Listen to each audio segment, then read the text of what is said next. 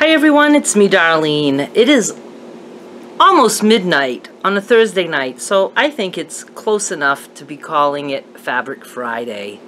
I went ahead and put my fabric on eBay tonight, and I did things a little bit differently. I had purchased a bunch of fabric. I think two weeks ago was the last time I shopped. I bought enough for two or three weeks, so it might have been three weeks ago.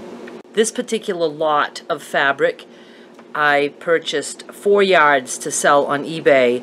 And instead of cutting it all into a certain size, I thought I would just list various size pieces. So there are actually four different listings.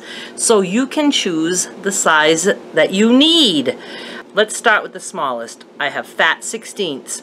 Those are approximately 9 by 10. You get one of all 16 prints.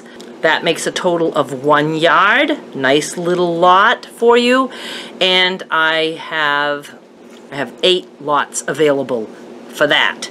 The next size up is quarter yards, but I'm doing long quarters. I believe I did fat quarters not too long ago, so I'm doing long quarters, and long quarters are really good for those of you who like to make strip quilts because the strips are long.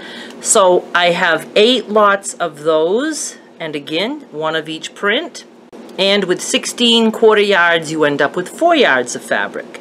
The next size is half a yard cuts you get a half a yard of each of the 16 prints, so that equals a total of 8 yards.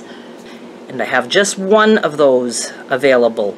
And last but not least, full yards. In case somebody would want a full yard of all 16 of those fabrics, I'm putting one out there. If it doesn't sell, no big deal. I can cut it to smaller pieces and sell it later.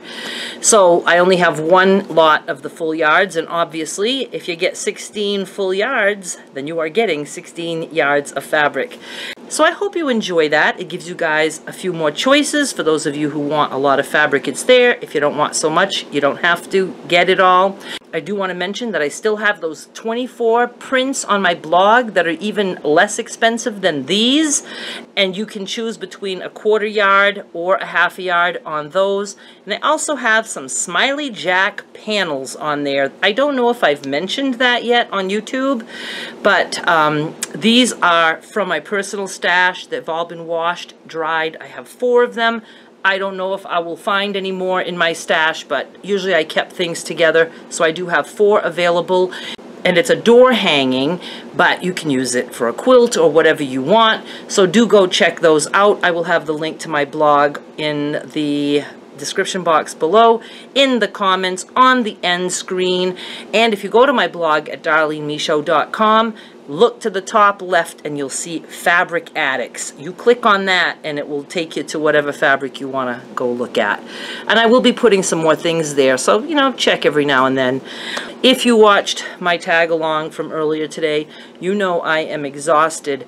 I pushed through this, but I really had to accomplish something or I was going to be a mental mess tonight. So I think I put in a good night of work. It's not one of the other hundred things that I have to do, but at least it was something. I actually sat and focused and got something done. So I was glad about that. So thank you so much for watching. Enjoy yourself on eBay. Please go check the blog and I'll be back with more soon. Bye. Oh, and on eBay, we still have the lot from I think two weeks ago. There's like a lot of greens. Those are fat eighths. So also check those out. Just go look at everything. Thanks so much for watching. Bye.